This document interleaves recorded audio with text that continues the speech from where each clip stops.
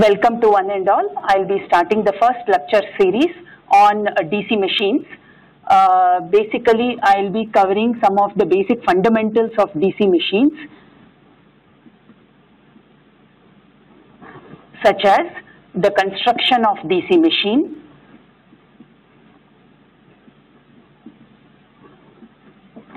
operating principle,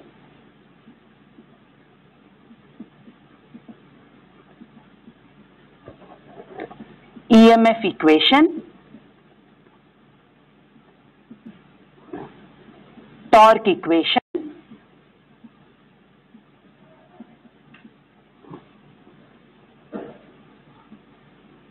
types of DC machines, and a few numerical examples.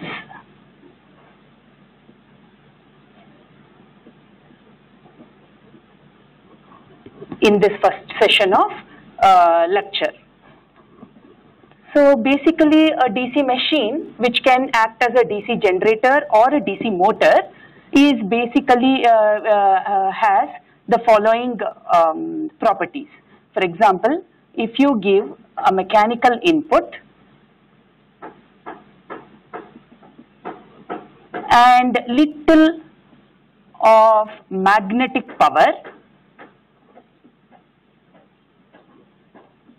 we get an electrical output and this machine works as a generator. When we tell for a motor, the same electrical output that we get here, it can go as electrical input to get a mechanical output with a little of magnetic power and this operates as DC motor. So this is the basic uh, uh, principle of a DC machine which can either operate as a generator or it can operate as a motor. So next we will take up the construction of the DC machine. So for construction of a DC machine you can see the diagram here. In this diagram, you can see that the various parts of the DC machine starts from the outermost part, which is the yoke. Then to the yoke is fixed the main poles or the field poles. And then we have what is called as commutator, the armature conductors, armature slot, brushes which are placed in the brush holders and the supporting feet. So to go in the detail about the construction of DC machine,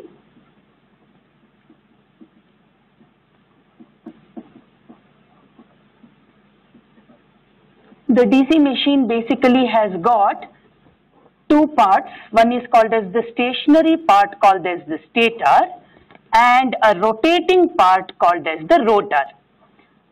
So, uh, rotating part called as the rotor. This is the stationary part.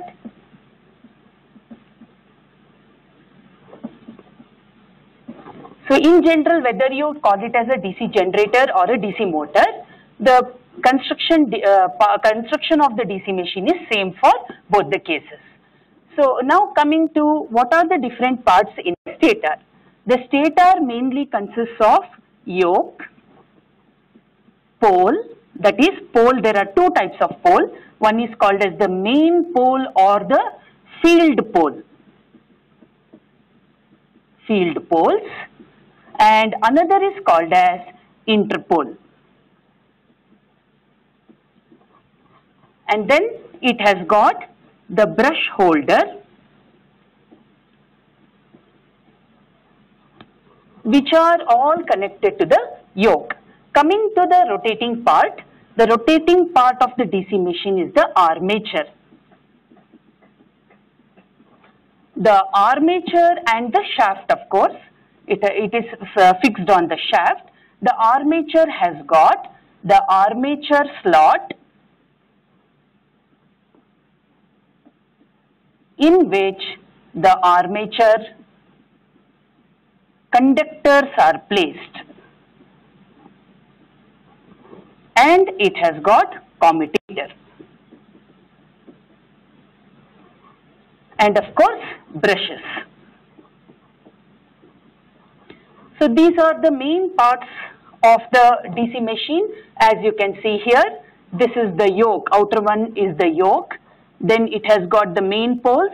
The field poles, are, uh, interpoles are not shown here. I will show you that. Then it has got the armature. Then it has got the commutator inside it which is segmented. And finally it has got the brushes.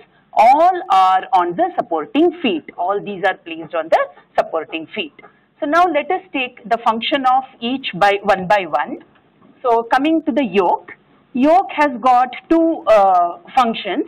One first one is First one is yoke is a solid secure structure which supports all the other, it supports all the other parts of the machine like basically the poles and the brush holder. This is one function of yoke and another function of yoke is to provide a low reluctance path, reluctance path given by the alphabet S, reluctance path for the flux. Okay, so low reluctance path is, reluctance means to allow the flux to flow uh, easily through the um, machine. Okay, so this is the one. And this yoke is made up of, it is made up of two types, like suppose for small motors, for small machines. For small machine, it is made up of cast iron. And for large machines, it is made up of cast steel or silicon steel and it has got very high permeability. Okay, so it has got very high permeability. So this is the function of the yoke and from what it is made. Now coming to the second main part that is the pole.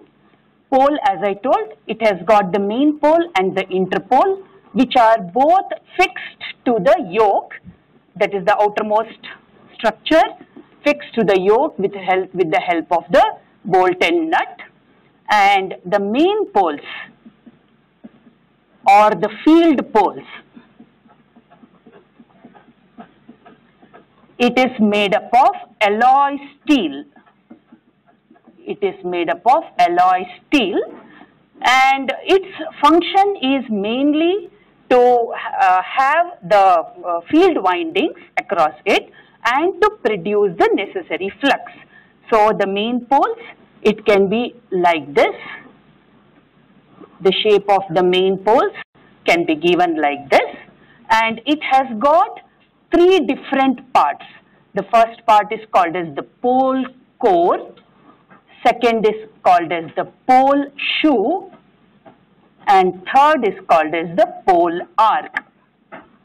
These are the three parts and apart from this, these pole main pole, they have the field windings which carry the field current IF across it. So, uh, so to show the view of how the field windings are placed, again let me draw the pole, main pole and the IF current and across the pole you can see that the windings are placed. So as I told, it is made up of alloy steel and the function of this pole core is to, the function of pole core is, the pole core is a laminated structure. It is a laminated structure of made up of alloy steel of high permeability. First thing. Second is the structure is laminated to reduce the eddy current loss. To reduce the eddy current loss. Next, second is the pole shoe. The structure of the pole shoe is given in such a way that it can cater to maximum flux that is coming under the pole. So instead of having a straight structure wherein only the flux under this area will be covered, if it is made in terms of a pole shoe structure, then all the flux, maximum flux can be covered under the area of the pole core. So to increase the quantity of the flux that is being cut by the conductor, we use the pole shoe type of structure. And finally, the pole arc is given depending on the geometry of the pole shoe, how it has to come. And here are the field windings which are connected across the pole and these windings are responsible to produce the required flux which is in turn cut by the armature conductor. So, as per the pole, pole is concerned, main pole is concerned, this is the diagram and here interpoles have not been shown. So, next coming to the second type of pole which is the interpole.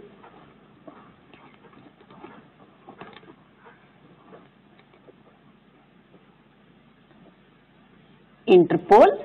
Normally, these, if these are the main poles, if these are the main poles,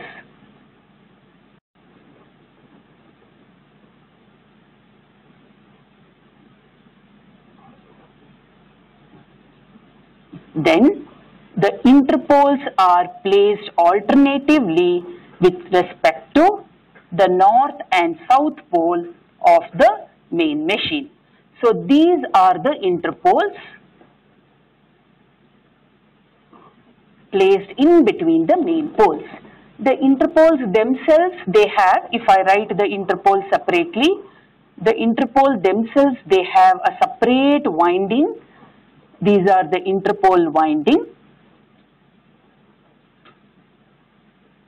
Windings which are connected in series with the armature conductor. Armature is the next part which comes under the rotating uh, part of the uh, DC machine.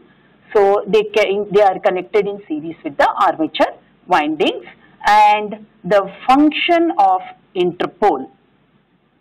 Function of interpole is it provides sparkless commutation. It provides sparkless commutation. So this is the next uh, part of the DC machine. Now coming to the brush holder. The brushes as you can see here, these are the brushes which are connected. They are placed in the brush holder which also is comes under the part of the, the yoke which carries the brush holder. So these are the parts. Now coming to the rotating part that is the armature. armature. The armature of the uh, DC machine, as you can see here, it has got armature conductor and armature slot. So, in the armature slot, in the armature slot are placed the armature conductors. These armature conductors are uh, depending on the number of slots and depending on the um, size of the um, uh, windings that is required, the armature conductors uh, are um, placed in the uh, circuit. Now apart from this, the armature basically has got, wherever these armature conductors are placed, it has got armature core the core of the armature is uh, mounted on a shaft. The armature core is mounted on the shaft and the conductors which are placed in this, they cut the flux lines through the, uh, which are, which are produced through the field poles. So when these flux lines are cut, then an EMF is uh, induced.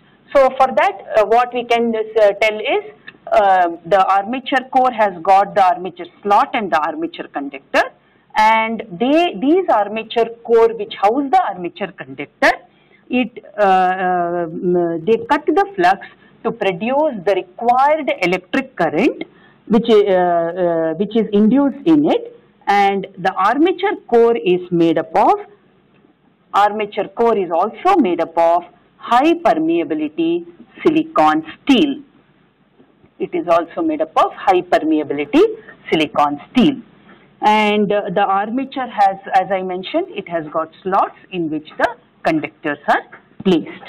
The function of this armature core is it has got uh, yeah I have already told that I have already told the function of the armature uh, core and the conductors. So we will go to the next uh, function that is the commutator commutator.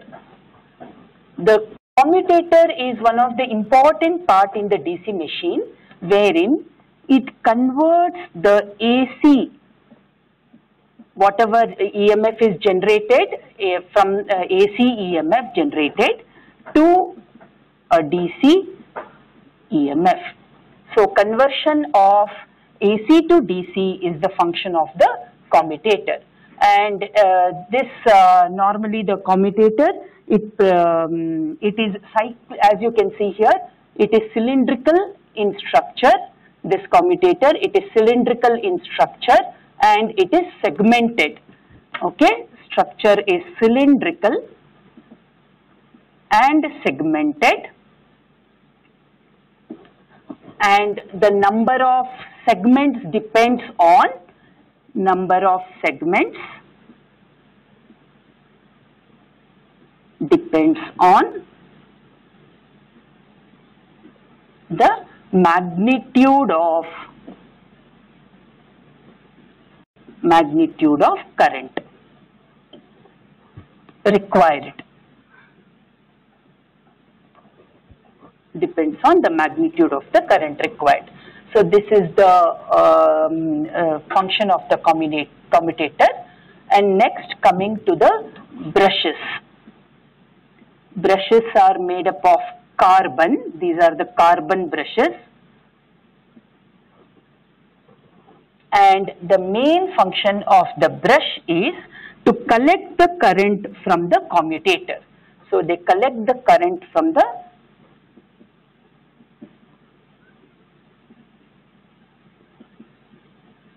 from the commutator.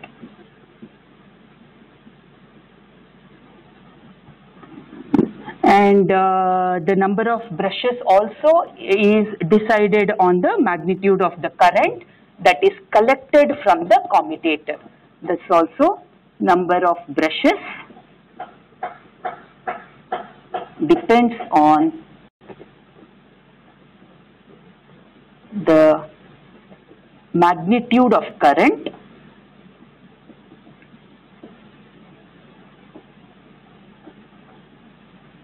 collected from the commutator.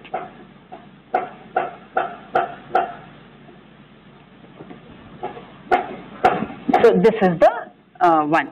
Next, so this completes the different uh, constructional details uh, that is the constructional details of the DC machine with different parts of the DC machine and their function.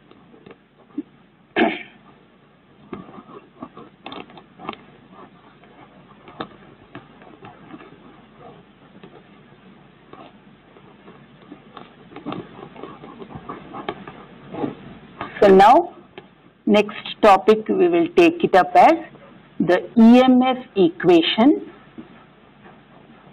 in DC machine. EMF equation in DC machine. So here assume that assume that phi is the flux in Webers phi is the flux in Webers Z is the number of conductors in the armature. P is the number of main or field poles in the machine. N is the speed in RPM, that is revolutions per minute. And A is the number of parallel paths of the conductors. Now coming to A, here there are two types of uh, um, construction possible with respect to the windings of the motor.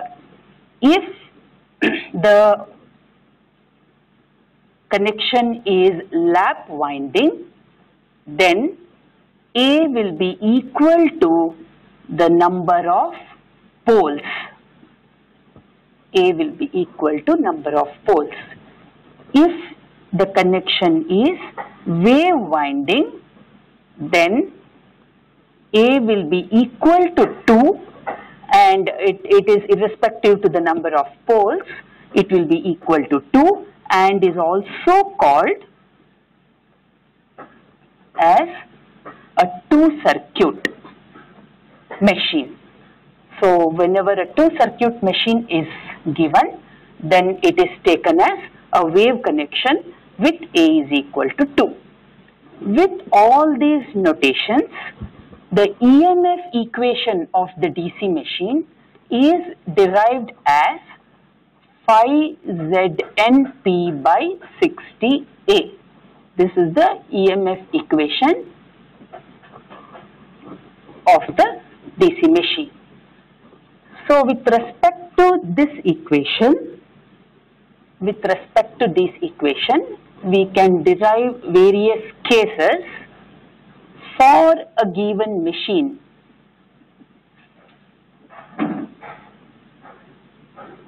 If Z is constant, Z, P, A and 60 are constants or fixed, then E will be proportional to phi into N. Therefore, for two different values, we get E1 by E2 is equal to phi n N1 by phi 2 N2. So we can derive uh, the, we can find the unknown speed of another case if required when it is connected in this manner. And second is, if IA is the total armature current, if IA is the total armature current and IC is the current per conductor. Okay, IC is the current per conductor or current per parallel path, current per parallel path, then the total armature current, if it is not given and only IC is given, then total armature current will be equal to the number of parallel paths that is given A into the current per parallel path. So it can also be found out, IA can also be found out by this method. And the next case is uh, if flux is also constant, third case is in case even flux is also fixed apart from Z, P, A, 60, etc. all are fixed, then E2 by E1 can be directly given as N2 by N1. So these are the three cases for uh, for an EMF equation wherein you can have the um, uh, use the equation first. Now coming to the principle of operation. Principle of operation of a DC uh, machine. Here as we know that these are the armature and here you have the flux lines which are which are coming out through the main poles. When the conductor cuts the flux lines, an EMF is induced. And the rotation of the conductor depends on the force on each of the force that is there on each of the conductor which is given as BIL sine theta. This force which is uh, there on both the uh, on on the conductor direction of this force can be given by the Fleming's left hand rule as we can see from all these uh, diagrams it can be given from Fleming's left hand rule wherein assume that a conductor is placed here under the north pole and the outward current is given as a dot and inward current given like this. So assume that the current is outward, outward current in the conductor under north pole. The second case, inward current of the conductor under north pole. Similarly, the next case of inward current of a conductor in south pole or outward current of the conductor in south pole. Under all these conditions, the force on each of the conductor given by F is equal to BIL sine theta and the direction of this force can be given by Fleming's left hand rule. The Fleming's left hand rule uh, states that when the three fingers that is the thumb, the first finger and the second finger, when the three fingers are stretched out mutually perpendicular to each other, then the first finger gives the direction of the flux the second finger gives the direction of the current and the thumb gives the direction of the force. So according to this principle, a DC machine operates. So next we will see the torque produced in the DC machine. Torque is nothing but the turning moment or the tangential force that is produced in DC machine to rotate the conductor. So for example, if the conductor is of radius r, then the force on that conductor F gives the total, uh, uh, uh, the total torque or the turning moment is the product of the force on the conductor into the radius of the conductor. How it can be explained is, consider the main north and south poles as shown and consider that one conductor is placed here which is cutting the line of fluxes. So once the conductor cuts the fluxes as we all know an EMF is also induced and this produces a turning moment on the conductor in such a way that it, uh, the, it produces a torque which is equal to F into R and the turning moment starts on the conductor that is for a single conductor. So to explain, suppose that a single conductor has got the coil sides A and B as shown here. So let us call it as the two coil sides A A dash and B B dash. Okay. So as you can see here, the when we consider a single conductor, the total turning moment or the force due to the force caused will uh, rotate the conductor or push the conductor say we have put here anti-clockwise direction it will rotate the conductor uh, from away from the uh, pole once it cuts the conductor flux. So the collective effect of all the conductors in the armature having a total force of F would be large enough, F would be large enough to see that the armature begins to rotate, the armature begins to rotate and the total torque being given as T is equal to F into R. The power developed PD in the DC machine. For that, you assume that due to this uh, force, the rotation of the DC machine, that is the armature conductor, rotates and the DC machine uh, is rotating. So the power developed is given as D is nothing but the work done in joules divided by the time taken that is in T in seconds. So with this if the work done is again written as force into distance then force will be equal to F into distance will be equal to the circumference of the conductor.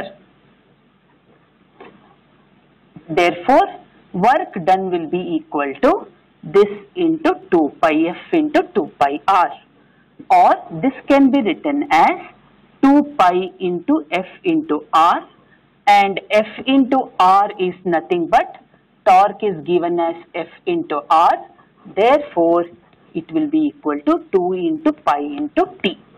So the power developed PD uh, okay before taking the power developed let us take the time t. So torque is equal to f into r.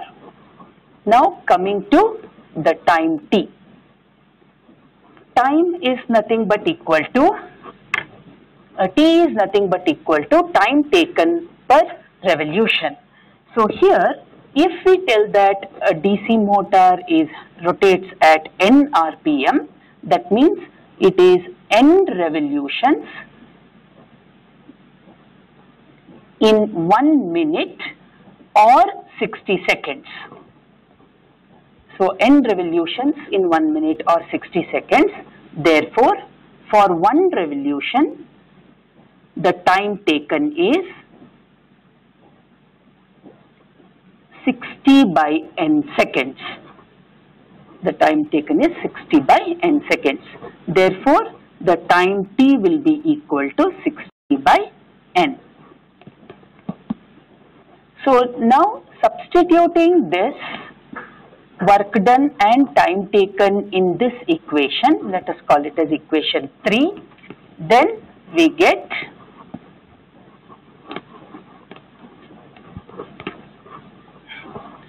the power developed will be equal to 2 pi into t divided by 60 by n. So we get 2 pi nt by 60 as the mechanical power developed which we can call as equation 4. So this is one of the methods by which we can show the power developed in the DC. So here based on the torque developed we can have two uh, questions. One is to derive the torque equation from the fundamentals. Okay, to derive the torque equation from the fundamentals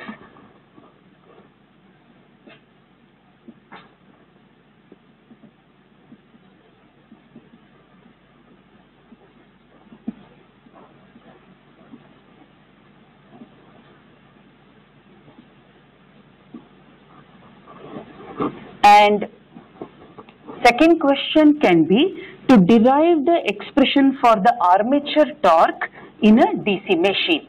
Okay, to derive the expression for armature torque uh, for armature torque in DC machine. So now we will go through how to derive these two equations in which the first equation of the torque that we can get is from power developed which is equal to 2 pi nt by 60 uh, from 2 pi nt by 60. Now to go ahead with the next uh, derivation let us come to the principle of operation of a uh, DC motor and the significance of back EMF.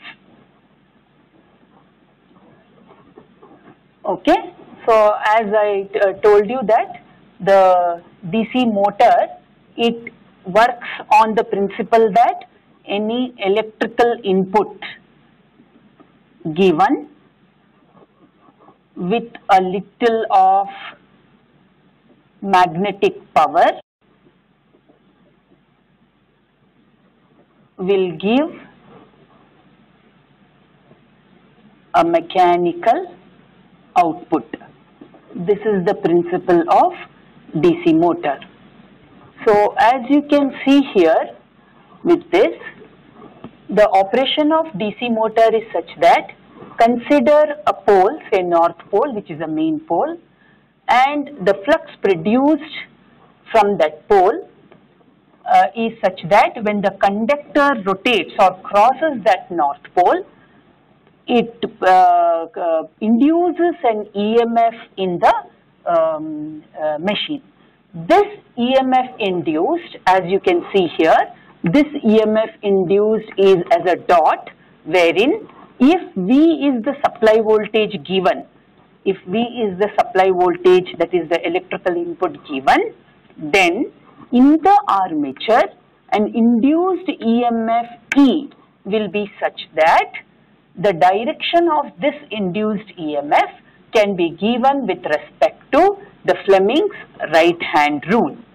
Again Fleming's right hand rule it states that if the first three fingers of your right hand are stretched mutually perpendicular to each other if they are stretched mutually perpendicular to each other, then when the conductor cuts the flux, the direction of the induced EMF can be given as the thumb, uh, like uh, can be given with respect to the second finger or the middle finger where it gives the direction of the induced EMF.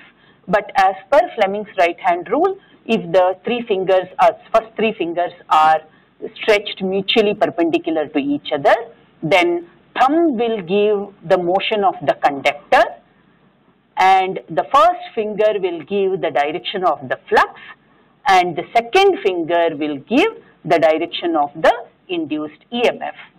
So based on this, one thing that has to be noticed here is that the direction of this induced EMF E is in opposite direction is it is in the opposite direction to the applied voltage applied voltage V. Therefore, this EMF which is induced is called as the back EMF EB normally written as the back EMF EB.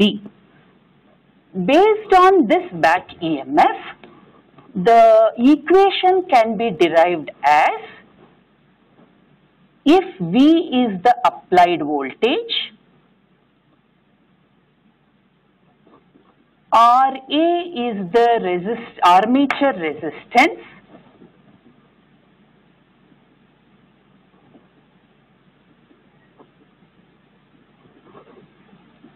and EB is the back EMF.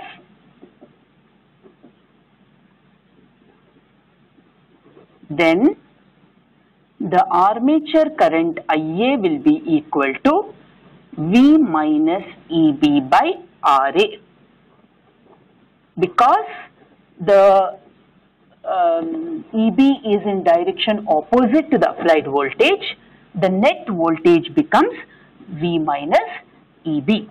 Therefore, from this, the back EMF EB will be equal to V minus IA into Ra.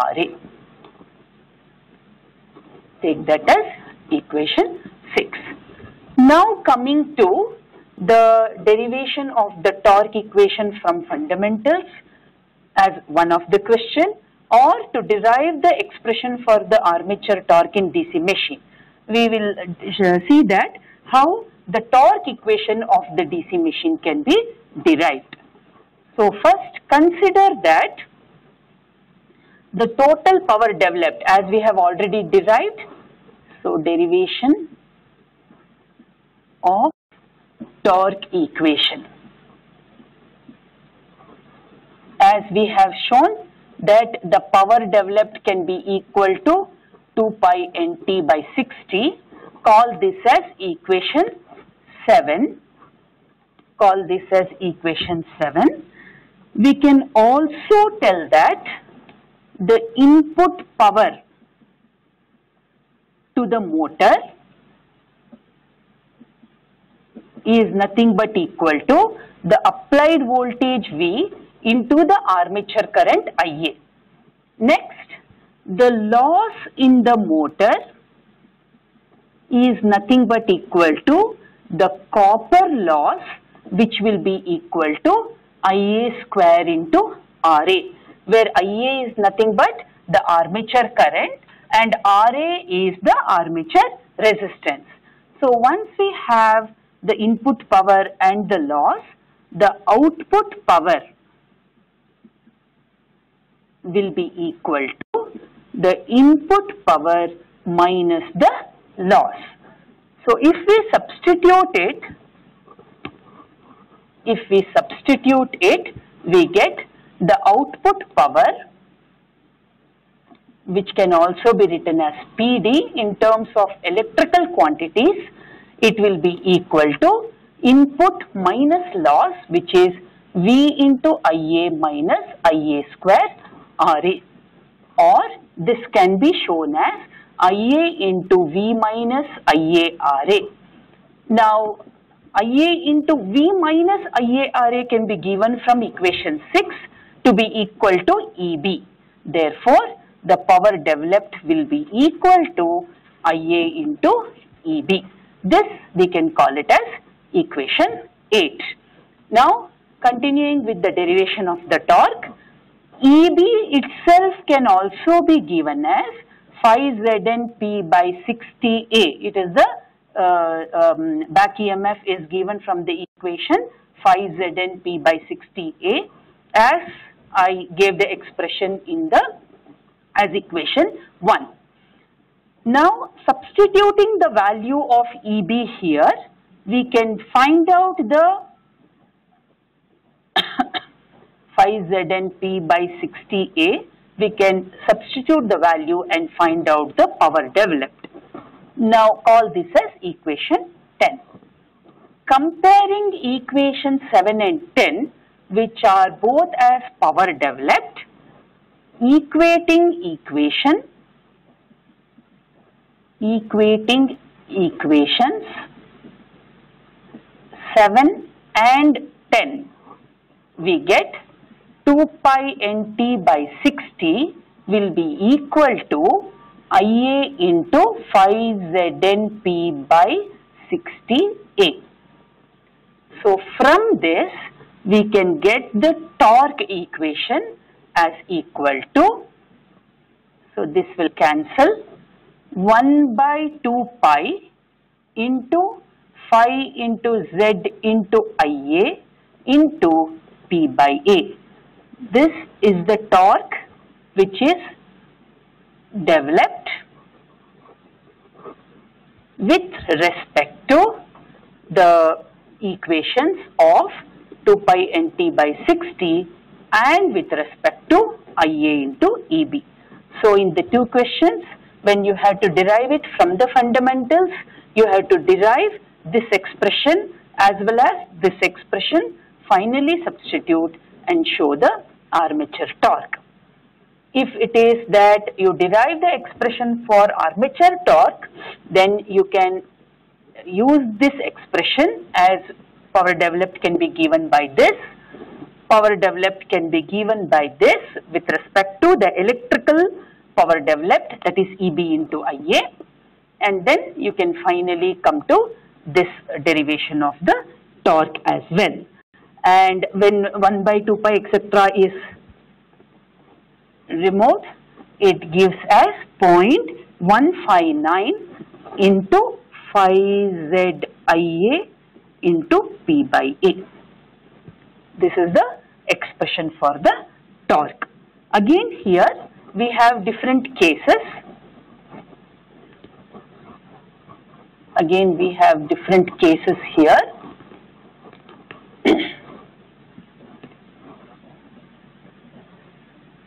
for P A and Z fixed okay and of course this is also a constant. This is also a constant.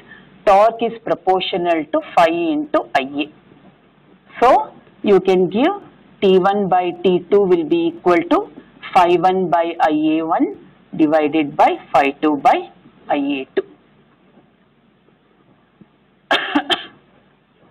here NN also cancels. So you get the total torque equation.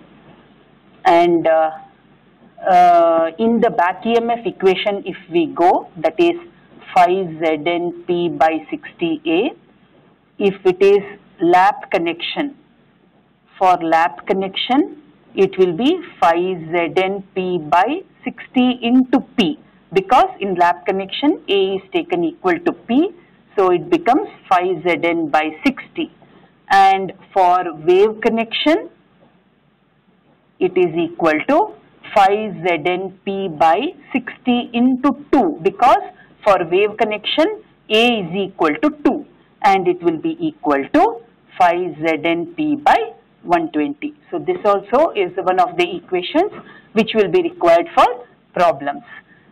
So uh, and in case you have to find out what is uh, the expression for uh, um, torque in terms of only power developed, then you can, uh, in mechanical power developed, you can substitute it only here. In case you have to find out the total uh, torque developed with respect to the armature um, uh, in, in armature also, then you can use this as the expression. So this completes the uh, e that is the construction of the DC machine. Then the principle of operation of a DC machine which is in accordance with Fleming's left hand rule wherein you get the equations as uh, F is equal to BIL sine theta. Then you have the expression for back EMF with phi Zn P by 60A taking everything into account. Then you have the torque developed, how the torque is developed with respect to this equation of R and the tangential force T. Then you have the back EMF developed that is it is called as a back EMF in case of DC motor because the EMF induced with respect to Fleming's right hand rule is such that it is in a direction opposite to the applied voltage V. So from that we get the um, total expression as uh, EB which is equal to V minus IA into RA. Okay. So after this we go to types of DC motor. We go to types of DC motor. Now coming to the types of DC motor, they are basically of two types. One is called as separately excited DC motor and another is called as self-excited DC motor. The difference between these two is the main parts as I already told you, it will have the field and the armature. In case of a separately excited DC motor, the armature is connected to one supply which is this is the motor M and the field is connected to another supply. This is the armature and this is the field. They are connected to two different supplies. When you come to self-excited DC motor, they are of three types. One is called as shunt motor. Second, series motor. And third,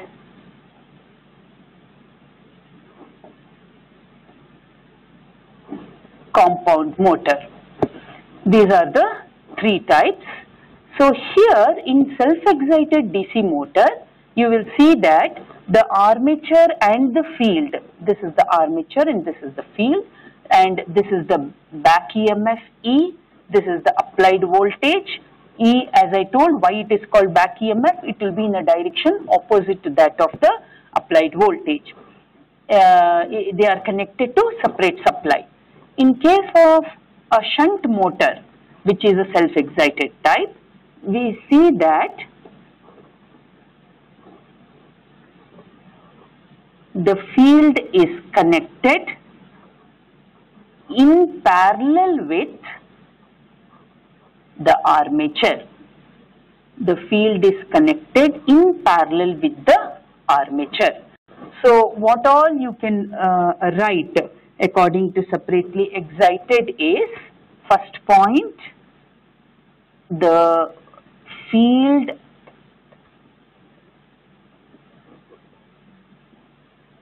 the field and the armature are separated electrically. So they are not connected same, uh, they are not connected to the same terminals. Okay. Then the, uh, as I told, field coil is connected to separate DC supply, armature is connected to a separate DC supply. And here the flux that is induced if IF is the field current,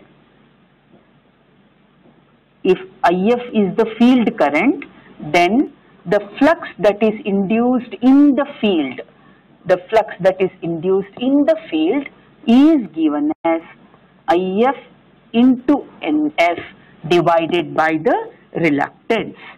And here NF will be equal to number of turns in field winding whereas S is the reluctance.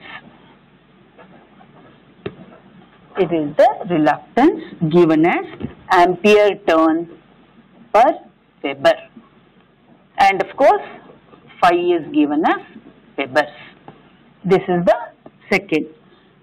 And the third one is the power developed in separately excited DC machine is given as P is equal to V into I watts and uh, EB again is nothing but here I shunt. This is the I shunt current. This is called as R shunt. And uh, I shunt is given as V by R shunt in this and the back EMF is given as V minus IA into RA whereas this is the input power, not the power developed. This is the input power Pi. And the back EMF is given as V minus IARA. So these are the equations which cater to the separately excited DC motor. And IA will be here. This will be IA. Now coming to shunt motor. So now taking up the self-excited motor types.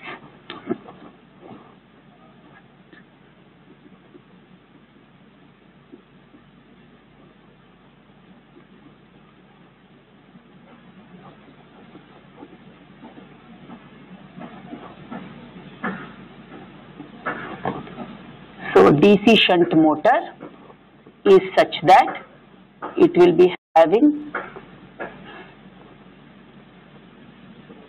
armature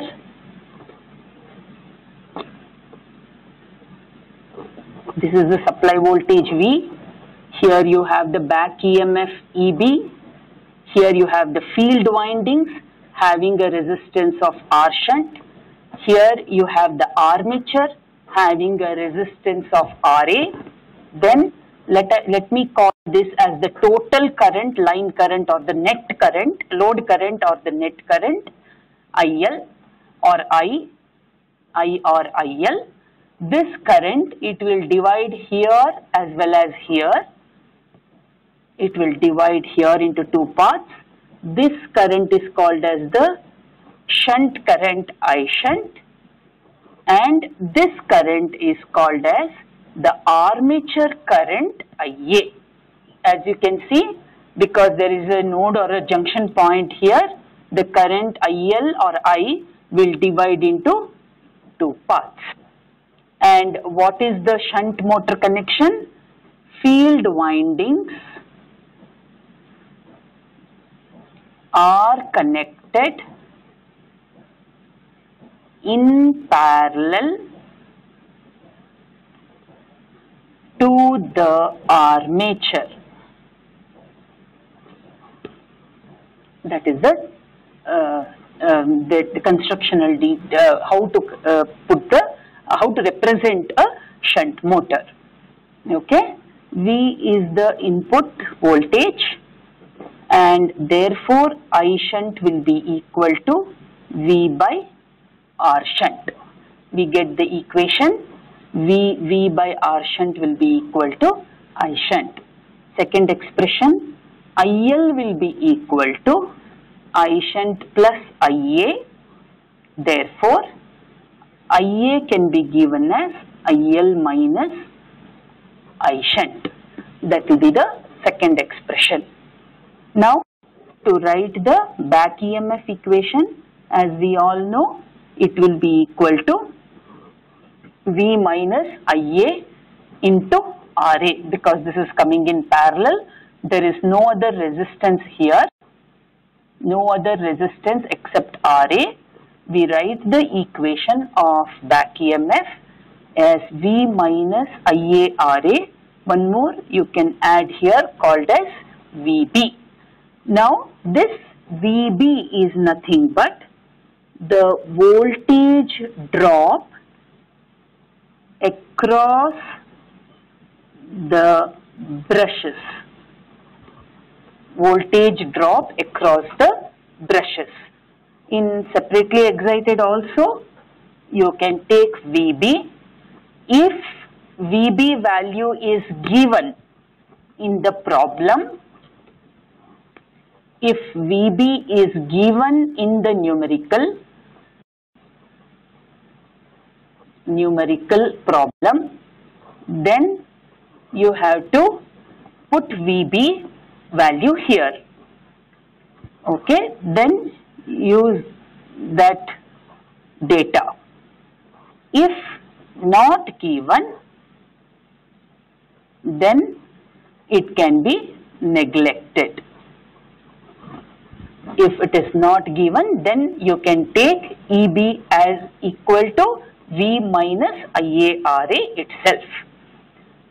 So this is about the um, um, shunt motor wherein you can see that the total um, power developed for DC shunt motor can also be given as the input power which is equal to V into I. This is I or IL you can take. Then the power uh, developed uh, as we have written there with respect to all these equations, you can again write EB as equal to V minus IARA. Now coming to the second type of motor that is DC series motor. DC series motor. As the name indicates, series as it indicates, here what we do is we give the winding which was as shunt, we give the winding here as series winding. We, uh, it is in series with the armature. So this will be plus minus and this is V. As usual, the back EMF is present. Then there is a current I. Here as you can see, there is no division of current. Therefore, I continues to be equal to IL and equal to IA itself. The same current IA also flows here. Unlike here, where the current was dividing between two parts, because it is connected in series here, there is no division of current. And here you can call this resistance as R series. So you name it as per the motor uh, type itself so that it will be easy for you to remember. This is R shunt because it is shunt motor. This is R series because it is series motor and this is the armature and it will have its own resistance that is armature resistance RA. So what is the construction detail? Here the winding is connected in series with the armature. what is the second? Second is I becomes equal to IL becomes equal to IA itself. So there is no other current like it is here. I becomes IA itself. So what is the next one? Next is EB is equal to V minus. Now as we can see from first end to last end, here we have two resistances which are connected in series. So from the positive terminal up to negative, we have total current IA itself flowing plus it is a sum of the two resistance R series plus RA or you can write it as RA plus R series. Okay and minus the drop due to brushes, voltage drop due to brushes. So coming to series motor, you can see that the equation has got here additional resistance of R series which comes into picture and the input power input power is nothing but equal to V into I or IL or IA whatever you call so many watts. This is about the series motor. Okay. Then coming to compound DC compound motor DC compound motor the compound motor has a combination of both the shunt windings or this whatever you have connected here and the series winding. It is a combination of both. In this, the, the uh, flux that is produced. Here in series winding, the flux produced is called as phi series. And since it is connected in series with the armature itself, this flux aids this uh, winding as well. Now here in this case, it is a combination of a shunt as well as series winding wherein the total current I which is equal to IL as usual in this case it is dividing same way here the current divides into two which is I shunt and IA according to KCL. So how why it divides? You can see that according to Kirchhoff's current law, at any node point, the current divides the incoming current, total incoming current will be equal to the total sum of the total outgoing current. So here also we can see that the current divides into two parts. And here as usual you call this as the shunt resistance only because it is the shunt winding of the, compound motor. And this coming in series with the armature, this is RA. This is since it is coming in series with the armature, this also is called as, as usual from here how we have taken, it is called as R series. So in this compound motor, what is the effect? It has both shunt winding, shunt field winding and series field winding. This represents R shunt and this represents R series. That is first. Second point is that if phi sh is the flux produced due to the shunt field current ISH and phi series is the flux due to the series field current. Here it is nothing but equal to IA which is equal to IA then in a compound motor if these two fluxes aid each other. Aid means if the net flux is such that if the net flux is such that it is a sum of phi shunt plus phi series, then the overall flux increases and it, uh, it helps to um, like uh, it is called as the cumulative compound motor wherein overall net flux increases and helps to aid the uh, one flux helps to aid the other. Okay. So when we tell about the compound motor, there will be both the windings present and if the net flux is increasing in compound motor, then it is called as cumulative compound, cumulative that is the flux is adding up. So this is the thing. Now how to write the equations for this? Now since this winding is coming in parallel as usual of this case, since it is coming in parallel, here I shunt will have the same equation which is equal to V by R shunt. So the first equation is same. Second,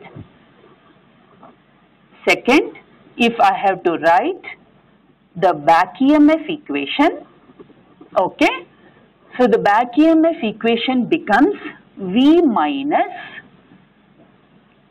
Normally we write it as V minus IARA, that's all. But here you can see that when we come to this IA part of the current, it is taking both series resistance and armature resistance. The same current flows through both the resistance.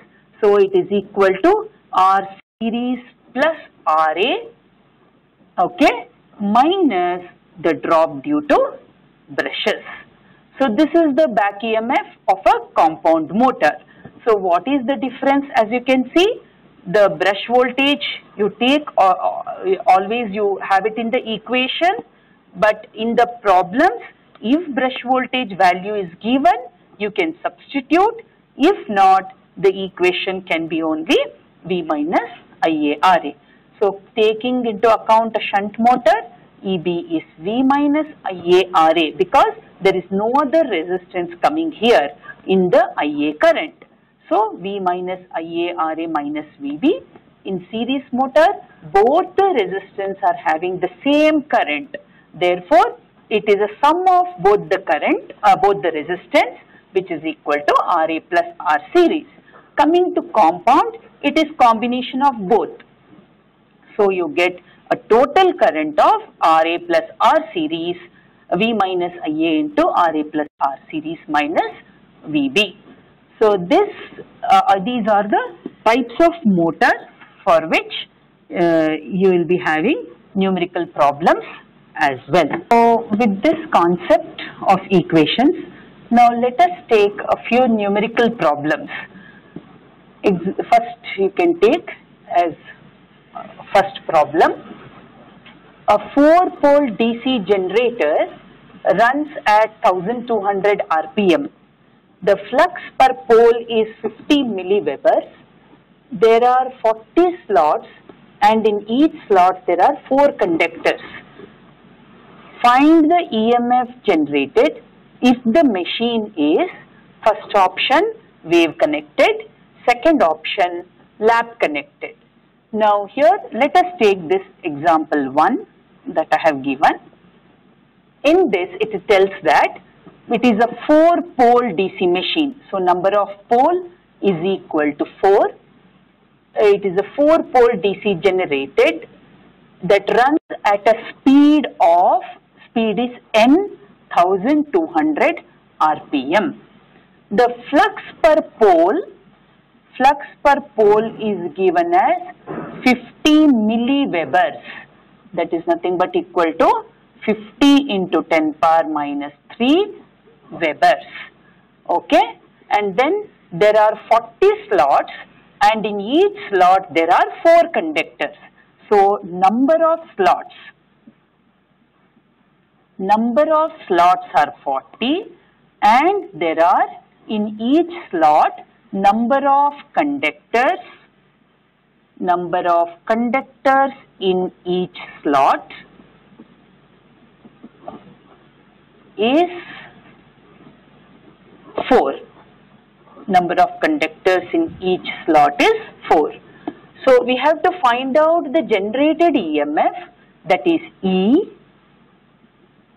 when it is wave connected and when it is lap connected. So here, as we know that if we give the solution for this, as we know that the EMF generated is given by the equation phi ZNP by 60A. Here, phi is the flux, Z is the total number of conductors, N is the speed in RPM, P is the number of poles, 60 is a constant, A is number of parallel path and depends on lap or wave. Okay, lap or wave. Now in this problem, both wave and lap connected has been asked.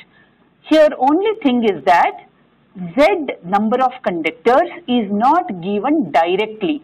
They have given in terms of the slot as I mentioned that the armature, the armature has got slots in which the conductors are placed.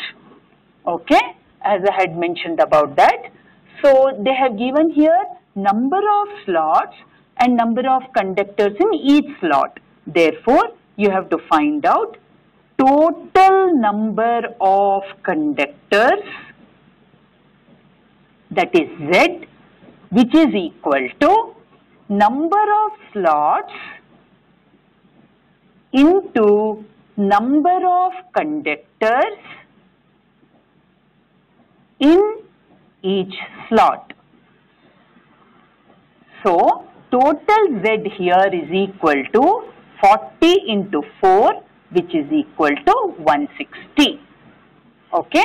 So first you have to calculate that. Next coming to the EMF equation. If we substitute in EMF equation that is the first question asked is wave connected.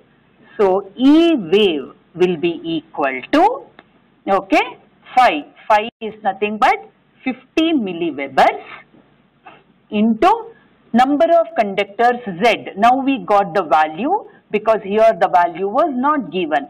It is equal to 160 into speed. Speed is given as 1200 rpm into number of poles p is nothing but equal to 4 divided by 60 into A. Since we are doing for wave, for wave connection it is equal to 2 irrespective of the number of poles. For wave connection it is equal to 2. So substituting all these values we get the total EMF as equal to 330 volts. This is the first case, uh, first answer where we get E is equal to 330 volts. Similarly, if we do with respect to E lap,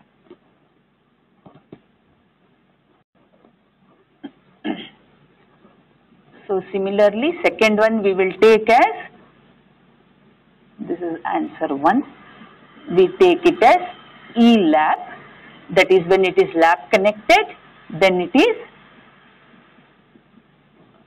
E that is phi ZNP that is E is equal to phi ZNP by 60A phi is 50 into 10 power minus 3 Z is 160 N is 1200 RPM P is number of poles that is 4 60 into when it is in lap connection when it is in lap connection A is equal to P.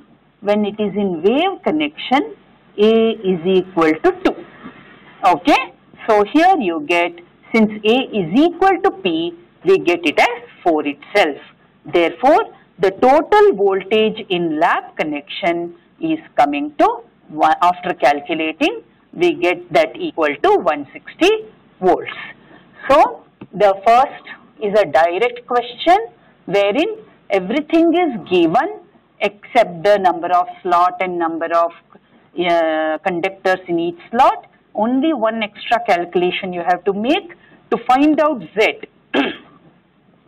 and then you get what is E wave and E lap. Okay, let us now go through example 2. A 120 volts DC shunt motor has an armature resistance of 0.2 ohms and a field resistance of 60 ohms. It runs at 1800 rpm when it takes a full load current of 40 amps. Find the speed of the motor when it is operating at half full load. okay. So the type of question that has been first asked is a DC shunt motor. So first you see that what type of question is asked so that you will know what equations to use. So the question asked is DC shunt motor having a supply voltage of 120 volts. Then having an armature resistance as I have told armature resistance is written as RA which is equal to 0.2 ohms. Then a field resistance RSH field resistance of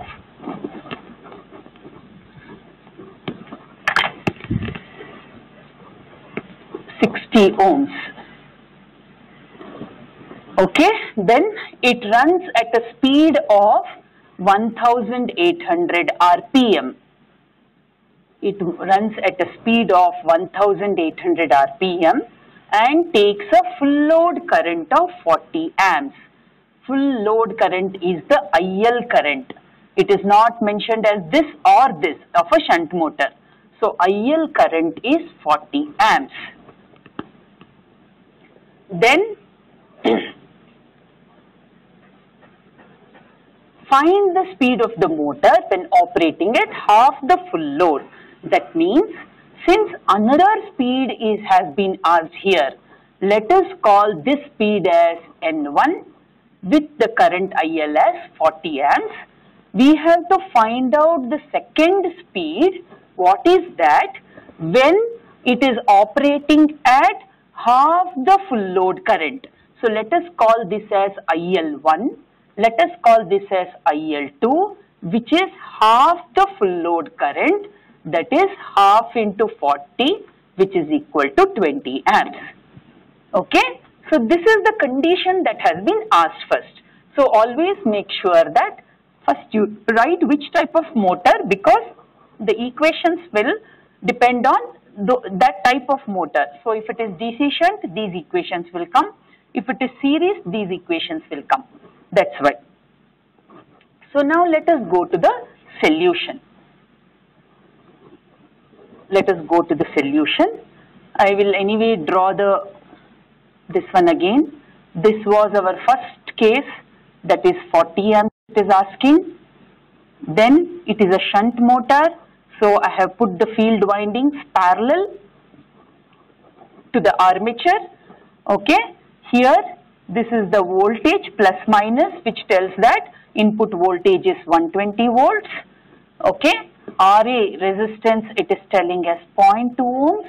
This RSH resistance it is telling as 60 ohms. Okay. The speed N1 is 1800 RPM and the current I have mentioned as 40. So here let us uh, first tell that find out the back EMF E or EB. For the first case, let us find out the back EMF E or EB taking the expression from the shunt motor. It is just equal to V minus IA into RA minus VB. Now, this value of brush drop is not given. Okay. Therefore, you can take EB as equal to V minus IA into RA itself. Okay. V is nothing but 120 minus IA now to find out IA, to find IA, because it is a shunt motor, the total current of 40 amps divides between I shunt and IA. As we have seen, the total current divides between I shunt and IA. Therefore, the total IA current must be equal to IL minus I shunt. What is the equation we can use for I shunt? I shunt is nothing but equal to and I shunt is nothing but equal to V by R shunt. V given is 120 and R shunt given is 60 which is equal to 2 amps. So I shunt is equal to 2 amps. So IA becomes equal to, we can call this as IA1. We are doing it for IL1 minus I shunt. So this is equal to 40 minus 2 that is equal to 38 amps. It will be equal to 40 minus 2 which is equal to 38 amps. We got the value of IA1. So substituting the value of IA1 in EB, the back EMF, which is equal to V minus IARA, it becomes 120 minus 38 amps into RA resistance which is 0.2. So EB comes in the first case under the full load value. Under the full load value of the first case, EB comes equal to 116 112.4 it comes equal to 112.4 volts this is the value of EB. Now, second case that has been asked here is, if the load current is reduced to 20 amps, that means half the load current. That means this IL is now taken as IL2 which is equal to 20 amps. Then we again calculate what is uh, I shunt uh, sorry, we again calculate what is IA2. Ia2 will be equal to now IL2 minus I shunt. I shunt will not change because I shunt is nothing but V by R shunt always. So this becomes 20 minus 2 that is equal to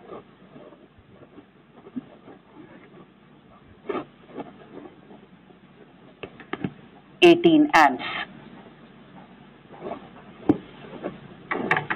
That is equal to 18 amps.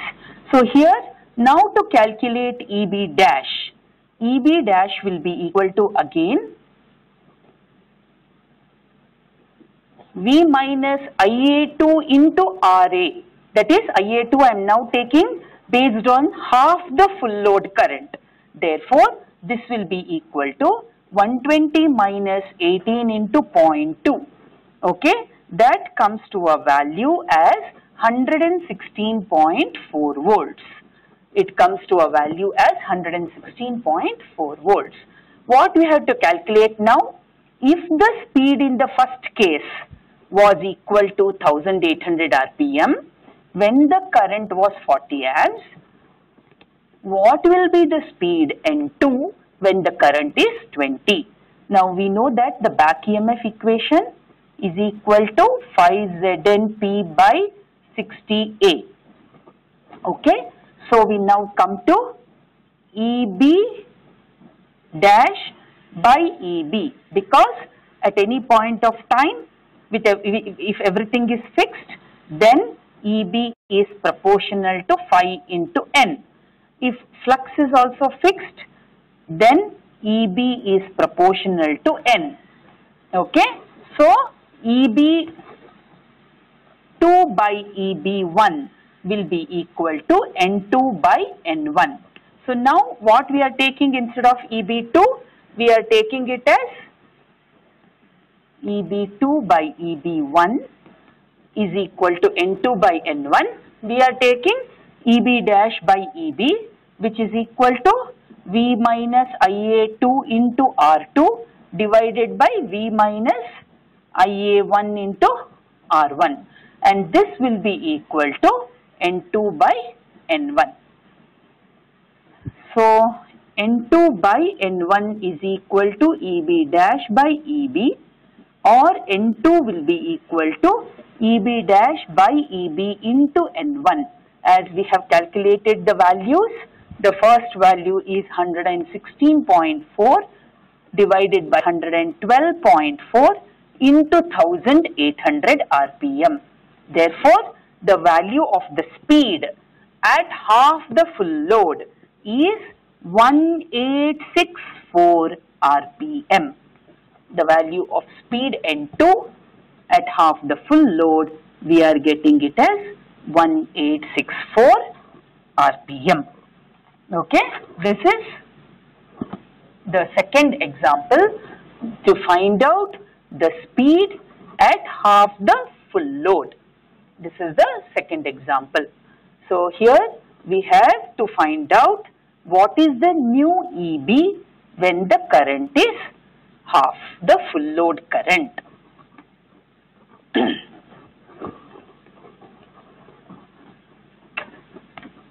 Next, we go to third example.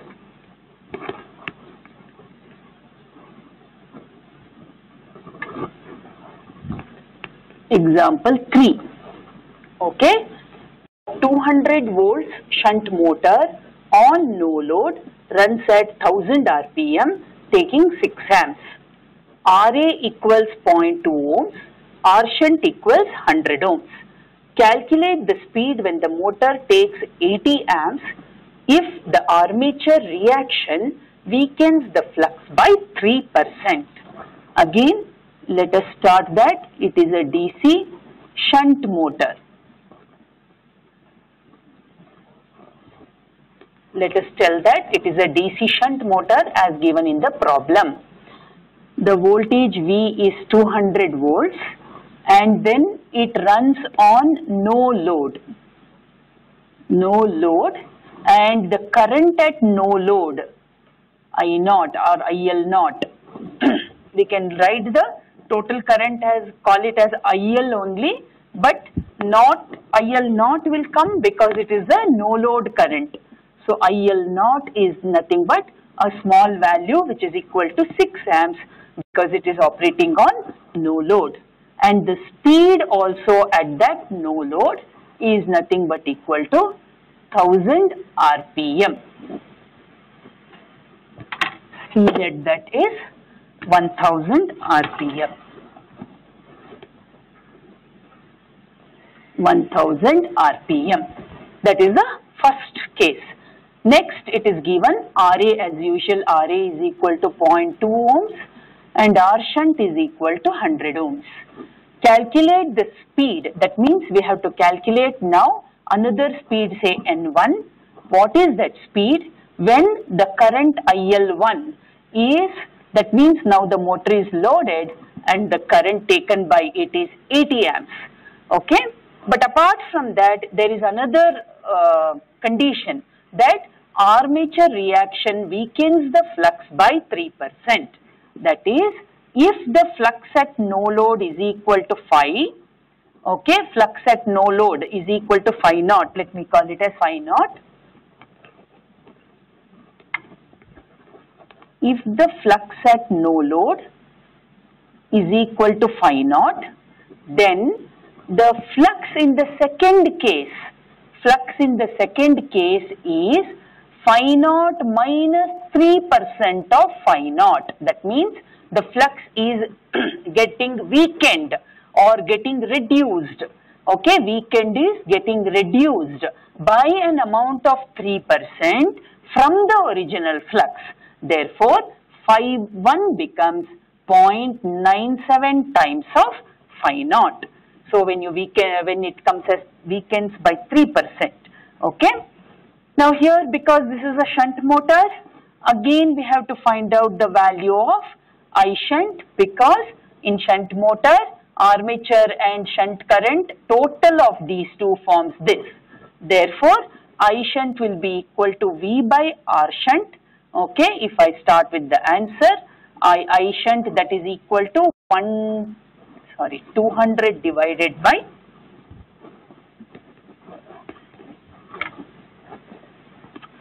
200 divided by R shunt value is a 100 which is equal to 2 amps.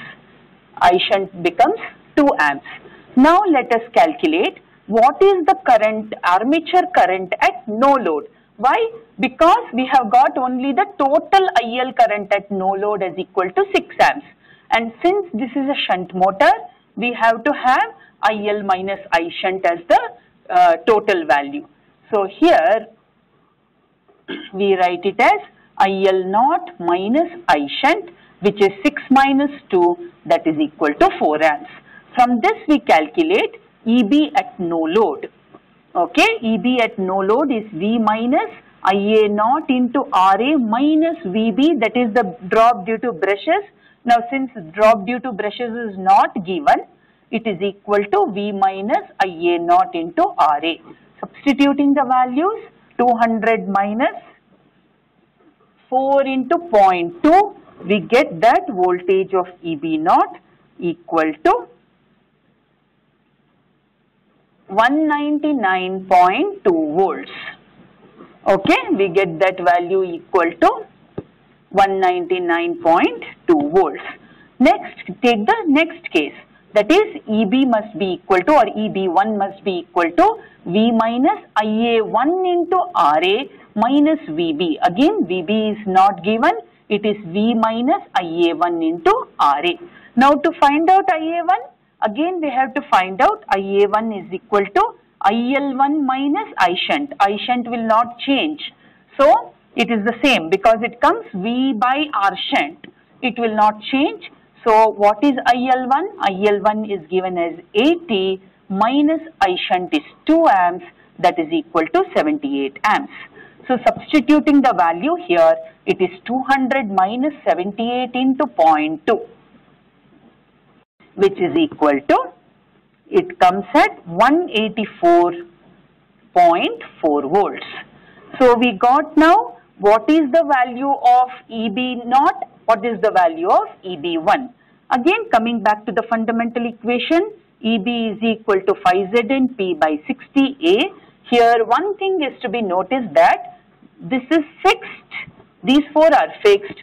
But since this, they have given some variation here, EB becomes proportional to phi into N here. Unlike the previous problem, okay, uh, where flux was also constant. Now, since here they have given that the flux gets weakened by this. Here we get EB1 divided by EB0 is equal to phi 1 N1 divided by phi naught N naught. Now, instead of substituting, instead of taking it as phi 1, substitute phi 1 as this times phi naught. As we calculated it, phi 1 is nothing but equal to 0.97 times phi naught into N1 divided by phi naught into N naught. N naught is nothing but equal to 1000 RPM. Or from this, we can take out what is phi naught. Therefore, therefore, N1 by 1000 is equal to uh, EB1 is nothing but equal to 184.4 volts divided by 199.2 volts. Therefore, N1 comes as 554.3 5 sorry 954.3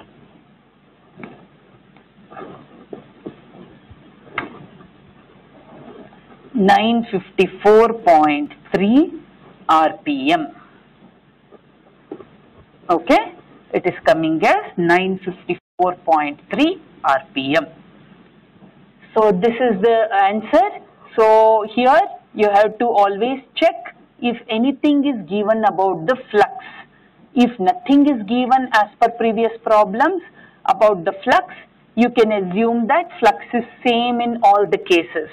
But if it is given that flux is reduced or flux is increased or armature reaction. The word is, keyword is armature reaction. Armature reaction weakens the flux by so and so percent. That means you have to take that also into account. Okay. So this is third example. Now coming to the fourth example. Example 4. A 4 pole 2 circuit DC shunt motor takes 50 amps at 250 volts. RA is 0.5 ohms, R shunt is 125 ohms. Find the back EMF, power developed and torque developed if the machine has 960 conductors and a flux of 25 milliwebers. Also find the speed. Now as you can see here, it is a DC shunt motor. What type of motor is given? DC shunt motor. Okay. Now for this DC shunt motor, number of pole is 2. One more thing, here it is not asked, if uh, not told directly that it is a lap or a wave connection, it is given as two circuit DC motor. Two circuit DC motor is, you have to take it as wave connection where A becomes equal to 2 from the E back EMF equation. Okay. Then it takes a current of, so you get IL current as 50 amps, IL or I, the total current I am talking about, V is equal to 250 volts, RA is equal to 0.5 ohms and R shunt is equal to 125 ohms. Okay, these are the given data. One more thing is the machine has got 960 conductors. That means total Z is given. it total is given as 960 conductors. So no need of calculating any Z value here as we calculated in the first uh, problem. Okay. So total number of conductors is 960 and flux is given as 25 milliwebers. And what all we have to find out? We have to find out what is the power developed, we have to find out what is the torque and we have to find out what is the speed. Okay, all the three we have to find out. So here let us go step by step for the answer. It is a shunt motor, okay, as given here. It is a shunt motor itself and we have to find out what is the power developed. As we know, power developed equation is 2 pi nt by 60 or it can be equal to EB into IA. These are the two methods by which you can find out what is the power developed. Now to find out what is EB into IA, we have to uh, also find out what is EB. Now EB is nothing but equal to phi ZNP by 60A. Now go if we go on substituting the values because Z is given, phi is given, all other data is given. Here A is not directly told as wave connection. It is being told as two circuit DC motor. Therefore, you substitute the value 25 milliwebers into 960 conductors into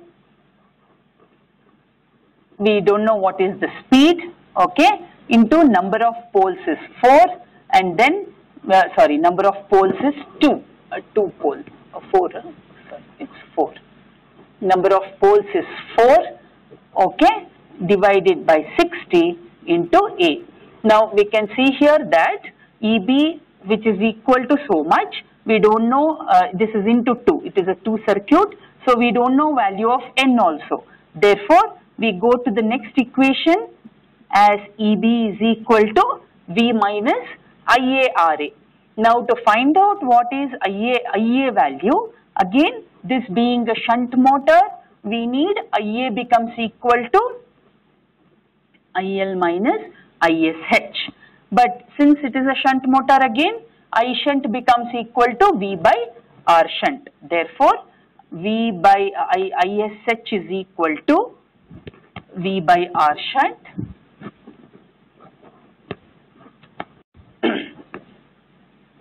ISH is equal to V by R shunt which is nothing but equal to 250 by 125 that is equal to 2 amps. Once we get that as 2 amps, total current is given as 50 minus 2 so IA becomes 48 amps getting the value of, after getting the value of IA, we can calculate EB which is equal to 250 minus IA is now 48 into RA is given as 0.5. Therefore, we get the EB value as equal to 226 volts. We get EB value as equal to 226 volts. After getting this EB value, now we can find out what is the speed by substituting.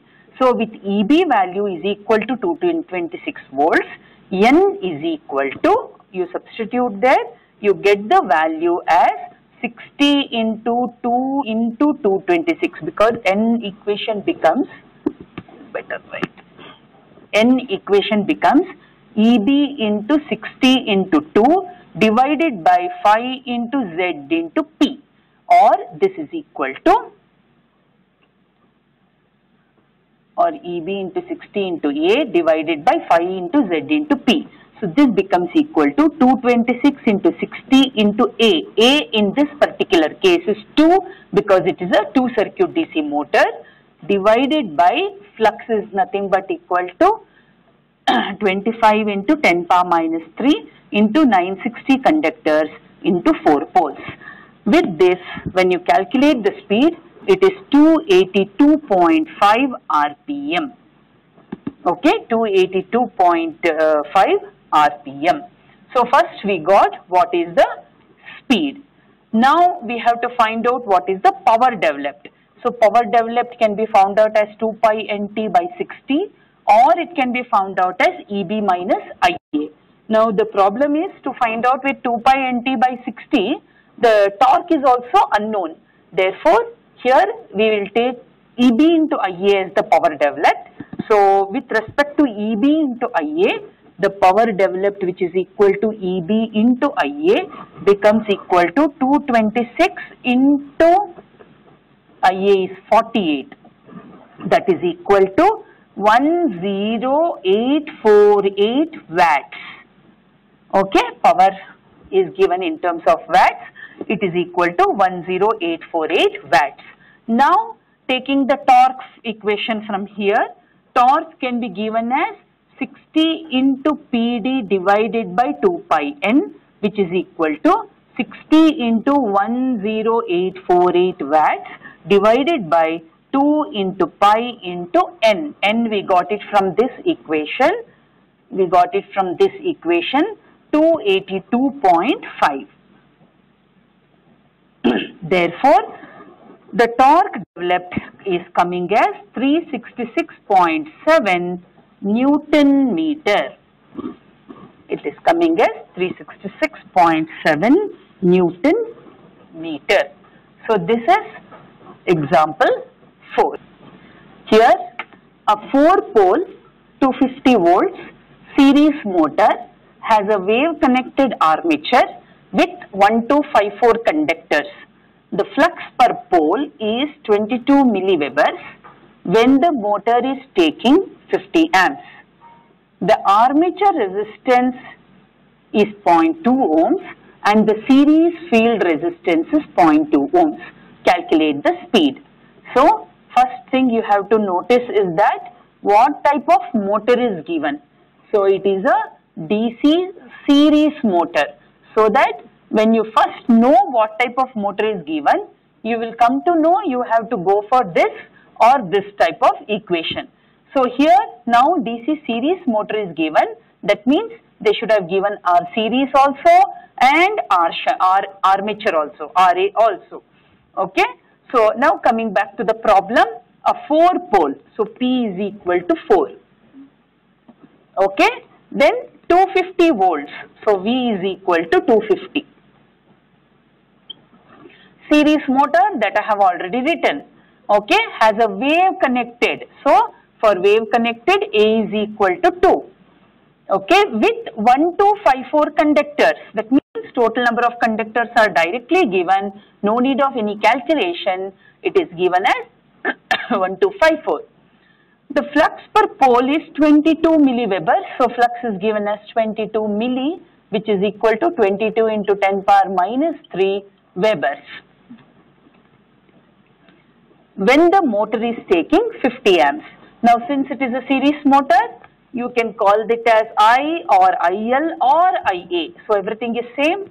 Call it as I or IL or IA which is equal to 50 amps because it's a series motor.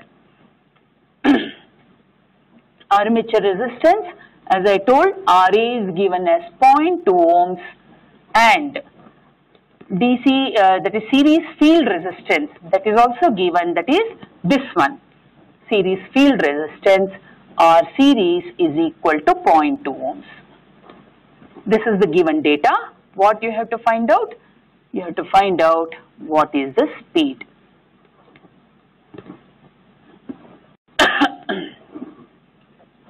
Okay. Now since all these are given, let us write the equation for a series motor. EB is equal to V minus IA into, it is just not equal to RA because it is it takes a combination of both the resistance. It is not just equal to RA, it is RA plus R series minus VB. Now brush voltage is not given. brush voltage is not given in this problem. Therefore, you, you need not take that. Therefore, EB becomes equal to, in a series motor, 250 minus IA, IA is 50 into 0.2 plus 0.2. So, EB value comes here as EB value in this case comes as 230 volts. Okay? EB value comes as 230 volts. Now the other thing is you know the value of EB only unknown here is the speed N. Therefore EB equation we will come to which is equal to phi ZNP by 60A in this N becomes EB into 60 into A divided by phi into Z into P. So EB we calculated as 230, 60 is a constant, A is a wave connection in the problem, it is called as wave connected armature, therefore A becomes equal to 2, flux, flux is nothing but equal to 22 milliwebers, okay, into number of conductors is given directly 1254 okay into number of poles which is equal to 4. Therefore, the total speed at which the armature is rotating in this series motor is 250 rpm. Okay. So here the difference between these problems were all were shunt motors. Here it is a series motor problem. Example 6. So here a 500 volts shunt motor has 4 poles and a wave connected winding with 492 conductors. The full load current is 20 amps. The armature and shunt field resistances are 0.1 ohm and 250 ohms respectively. Calculate the speed and the developed torque. Assume a flux of 50 milliwebers. Now you can see here it is a shunt motor. So what type of motor we are going to do? It is about the DC shunt motor. It is given as DC shunt motor. The voltage is given as 500 volts. Okay, it is wave connected. Number of poles is 4. Okay, and then it is given as wave connected. So A is equal to 2. A will be equal to 2. Number of conductors is also given directly which is equal to 492 conductors. Then the full load current, it is a shunt motor. So now I will write only I is equal to IL. I is equal to IL only because it cannot be is equal to IA. IA becomes uh, IL minus I shunt. So it is I is equal to IL which is 20 amps. The armature resistance is given as 0.1 ohm and shunt field resistance is given as 250 ohms. Calculate the speed, okay, flux also you write it as 50 milliwebers which is equal to 15 to 10 power minus 3 webers. Calculate the speed and the torque developed. What is the speed? What is the torque? So same equations we are going to use. From this we see that first we calculate what is EB which is equal to V minus IA into RA minus the voltage with across the brushes. This equation comes because it's a shunt motor. VB is not given, so EB is equal to V minus IA into RA. That is equal to 500 minus. Now again we have to come back to calculation of IA. IA is nothing but equal to IL minus I shunt. Therefore, I shunt is equal to V by R shunt which is equal to 500 divided by um, uh, uh, that is uh, R shunt is nothing but equal to 250. 500 divided by 250 which is equal to 2 amps. Therefore, come back to the calculation of IA which is equal to 20 minus 2 which is equal to 18 amps. So, now we calculate EB now we calculate EB which is equal to V minus IA into RA which is equal to 500 minus IA now becomes 18 amps into RA is given as 0.1 ohm. So the EB value in this case comes to 498.2 volts. Okay 498.2 volts. Then after getting this 498.2 you can find out what is the value of uh, that is uh, speed speed because EB is equal to one minute EB is equal to phi ZNP by 60A therefore n will be equal to EB into 60 into A divided by phi ZNP. This is equal to 498.2 into 60 into A. A is nothing but wave connected. So it is equal to 2 divided by flux is 50 into 10 power minus 3 into Z is nothing but equal to 492 into P is 4. Okay, so here you get the speed of cut ಮಾಡಿ ಆ speed value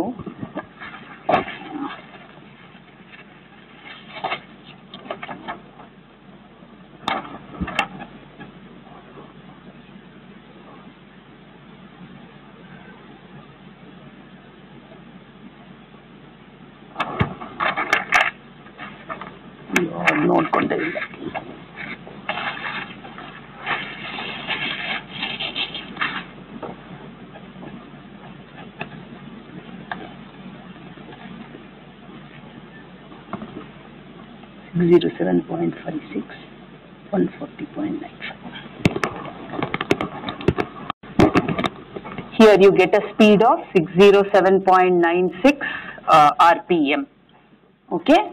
So once you get this you can find out the torque from the power developed. So power developed can be equal to calculate power developed as equal to EB into IA which is equal to 498.2 into IA which is equal to 18 amps. Okay. So substitute this value in this torque equation. Torque equation from this becomes PD into 60 divided by 2 into pi into n that is equal to 498.2 into 18 into 60 divided by 2 into pi into 607.96 40 or approximately. 140 newton meter or 150 newton meter after calculation. Okay? So this is the example. Welcome to the second session of uh, uh, dc machines. So now we will discuss on the characteristics of dc motor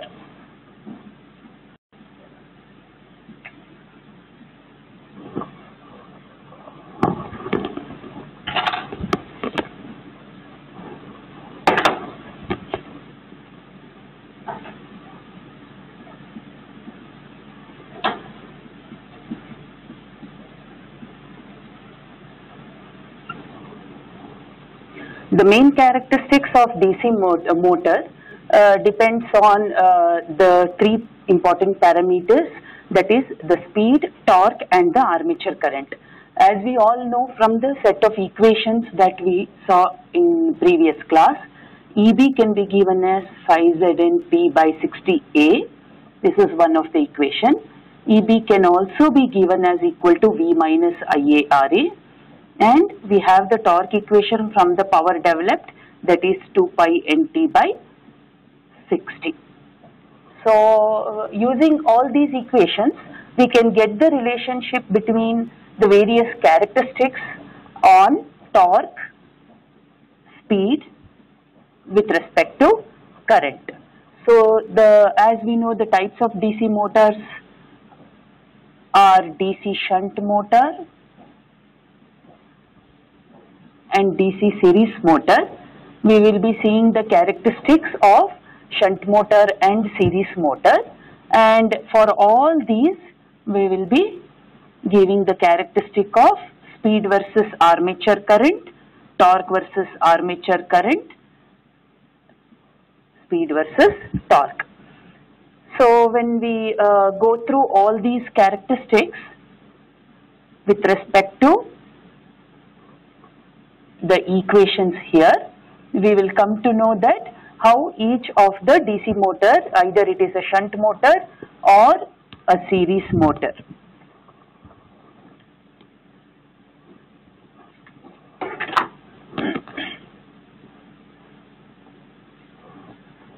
How it is, uh, how the characteristics are and how it uh, is applicable to different types of uh, applications.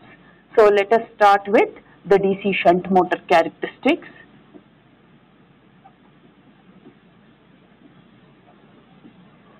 And first we will try to draw the characteristics of speed versus armature current. So to draw for speed versus armature current, we all know from the equation of EB that uh, EB which is equal to phi Zn P by 60A with all the other fixed all the other quantities fixed, EB is proportional to phi into N. And here, in case of shunt motor, we get that I shunt is equal to V by R shunt since the supply voltage is fixed and R shunt is also fixed. Here we get that this I shunt is proportional to phi shunt and the phi shunt value is almost constant because we have these two as constant values. It is almost constant for a DC shunt motor.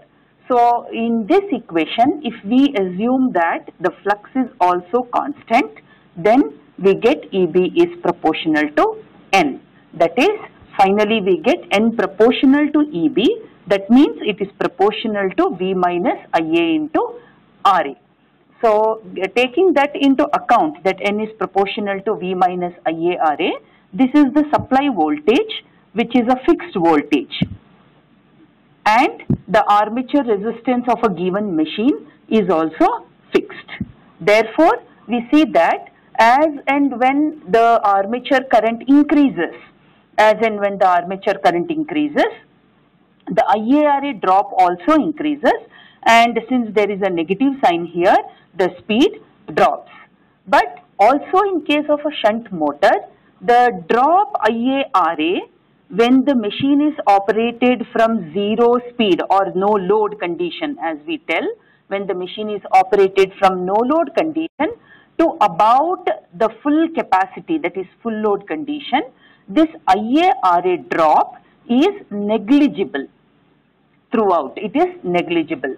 But when we draw the characteristics, we normally show it as suppose if this is the no load current, then this will be the no load speed of the uh, machine.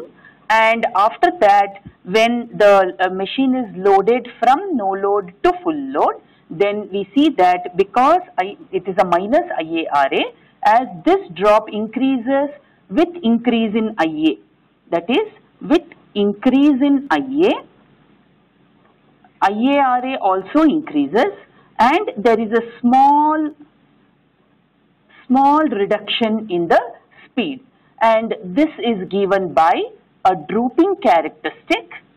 This is given by a drooping characteristics for the shunt motor. So the speed uh, uh, armature current characteristics shows like this. But here again as I mentioned that this drop of V minus IARA is this IARA drop is very very negligible when the motor is run from no load speed that is the when the machine is not loaded to full load speed. Since this is negligible for all practical purpose for all practical purpose we assume that the this drooping is very negligible and for all practical purpose we assume that DC shunt motor is a fairly constant speed motor Okay, DC shunt motor for practical purpose we assume DC shunt motor is fairly constant speed motor. So this is about the characteristics of the speed versus armature current. Now coming to torque versus armature current. So when we tell about the torque versus armature current, one thing that you have to know is that as far as the uh, flux is concerned, that is the shunt flux. It is almost constant for a shunt motor wherein the windings, as I had already mentioned, the windings of the shunt motor come in parallel with the armature. So they come in parallel with the armature and since V is fixed, R shunt is fixed, it is almost I is constant, this being that the flux is almost constant here. Now coming to torque versus armature current as we know from the torque equation. So uh, as we have seen the torque equation is 1 by 2 pi into phi z ia into p by a. This is the torque equation. And in this torque equation if 2 pi z p a all are constant then torque is proportional to the phi shunt because this is a shunt motor into ia. Now, as I have already mentioned that this is also almost constant. So, the, the torque is directly proportional to current in a DC shunt motor. So when we see the torque equation, uh, torque characteristics when we see, again you can see that if IA naught is the no load current and T naught is the current at uh, torque at no load, then you can see that the torque characteristic is almost a linear line because it is directly proportional to IA. So this is about the torque characteristics of the DC shunt motor. Now coming to speed versus torque. Now because we already know that uh, the current that is the speed is proportional to V minus IARA and torque is directly proportional to current, the characteristics will be same as the speed versus current itself for speed versus torque. That is one thing.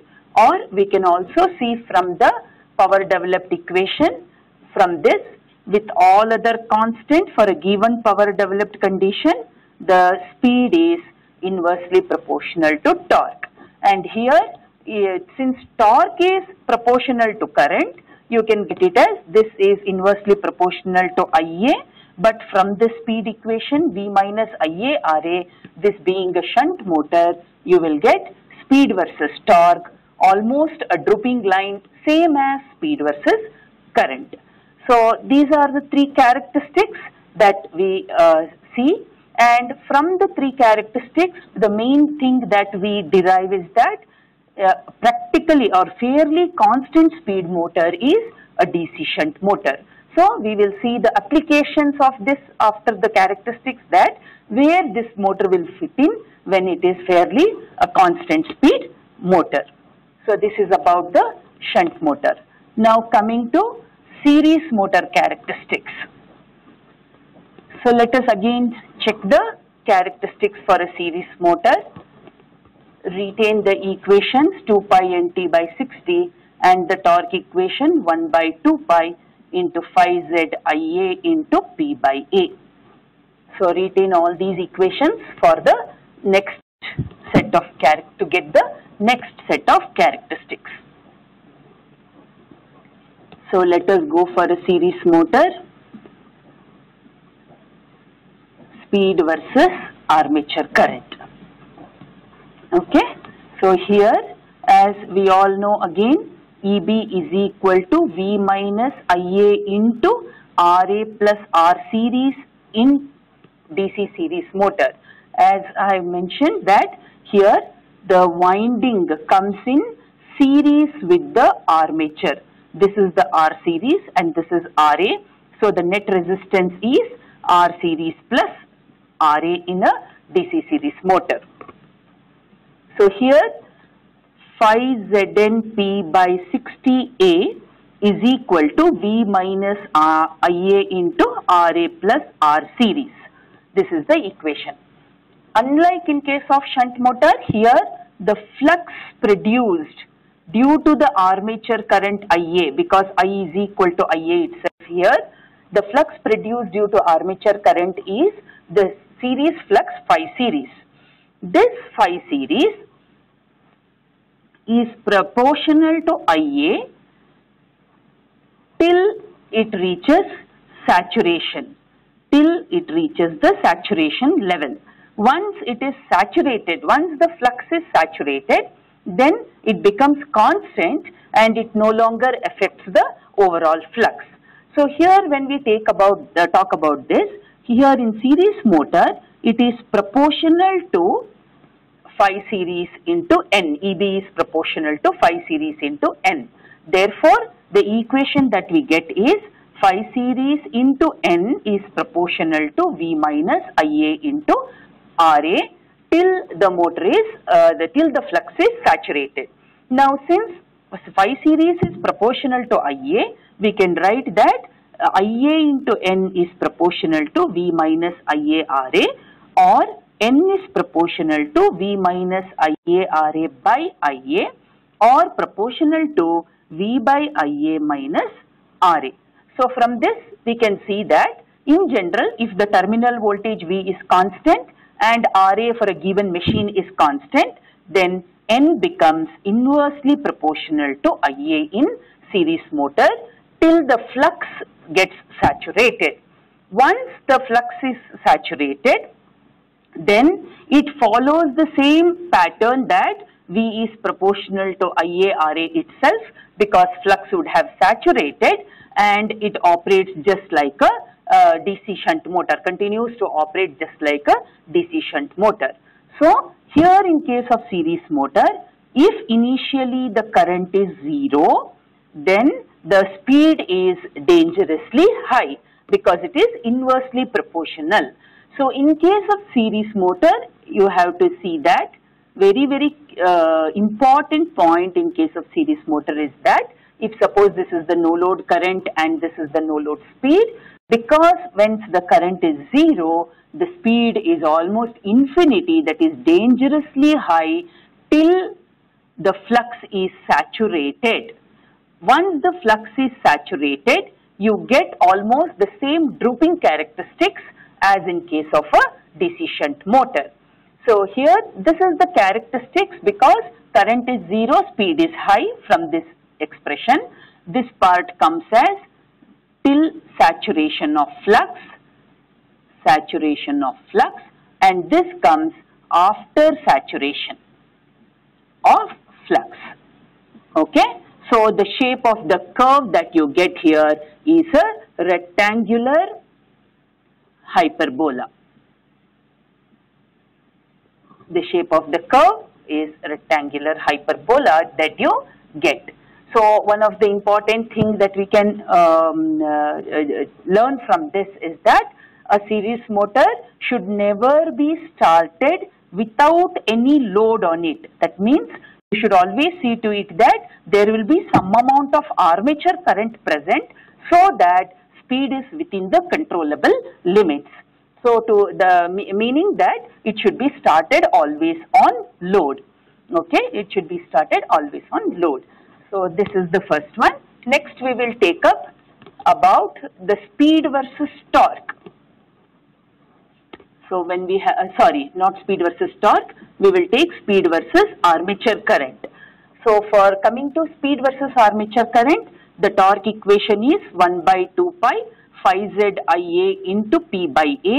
Now since phi is phi series in a series motor, which is proportional to ia, till saturation phi series is present. Therefore, the torque becomes proportional to this phi series I will replace it as IA, IA also I will replace it as IA with all other constant 2 pi, phi, uh, that is Z, I, uh, Z and P by A everything constant. We can see that torque is proportional to IA square till the saturation of the flux. Till the saturation of the flux. Once the flux is saturated, then the torque behaves similar to that of the DC shunt motor. That is, it is directly proportional to IA. So, initially till saturation, so if we have to draw the uh, this, one uh, characteristics, initially till saturation, the torque varies as the square of IA. Torque varies as the square of IA. So from O to point A if you take, from O to point A, this is due to flux series that is which is not saturated. So uh, O to A is till saturation, till saturation of phi series. And A to B is phi series, flux is saturated. Okay, the flux is saturated. So you can see you get a similar waveform after uh, uh, saturation of flux as we have shown in the torque versus IA characteristics of. So as you can see here that one of the important thing you can see in from series motor is that you cannot operate, cannot start a DC series motor without any load. That means it has to always start with load.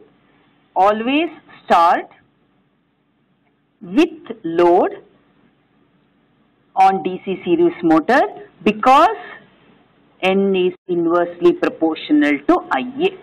This is an important thing that you can read from here. So based on these two character, these set of characteristics of speed versus current, torque versus current and speed versus torque, we can also tell about the different applications of DC machine. So coming to the applications of DC machine motors, in that so consider DC shunt motor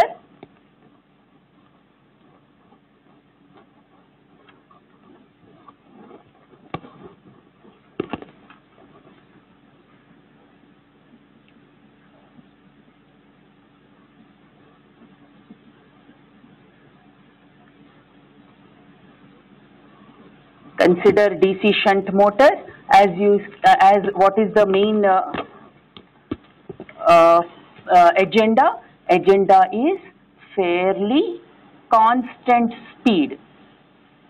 So if there are fairly constant speed the type of application will be for blowers and fans. Okay? Then you can have for in centrifugal pumps centrifugal and reciprocating pumps. Second is that. Third, you can have it for uh, operation for machine tools, operation in machine tools, sorry, to operate, to operate machine tools, then you can have it for driving constant speed line shafts. Constant speed line shafts. Okay, so these are few uh, applications. When you come to DC series motor, the main thing is that never start without any load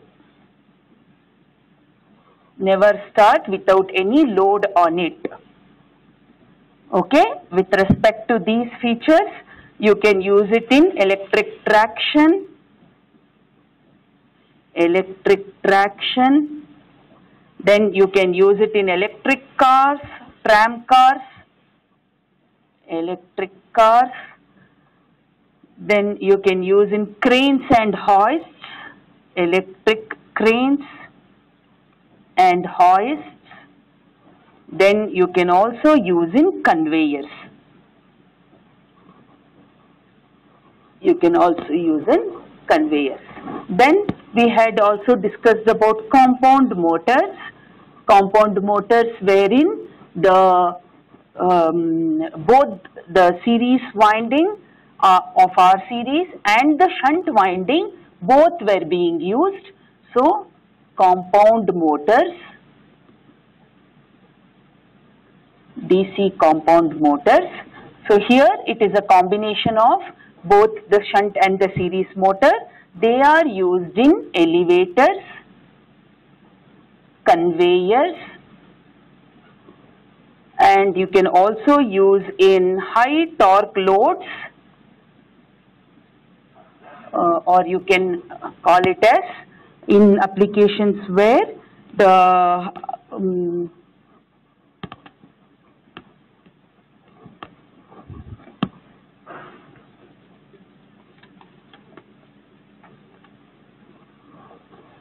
or you can also use it in heavy machine tools.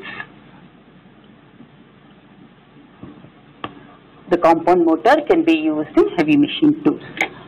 So this completes the DC machine uh, uh, lectures on uh, starting from the construction, principle of operation, the principle produ production of back EMF, uh, how the torque is developed in DC motors, then what are the different um, types of DC motors, then of course based on the equation of the EMF, based on the torque equation, how the DC motor, uh, various DC motors um, uh, equations are derived. And then from there the problems on DC motors and of course the characteristics of DC series DC shunt motor and DC series motor and a few examples of applications of DC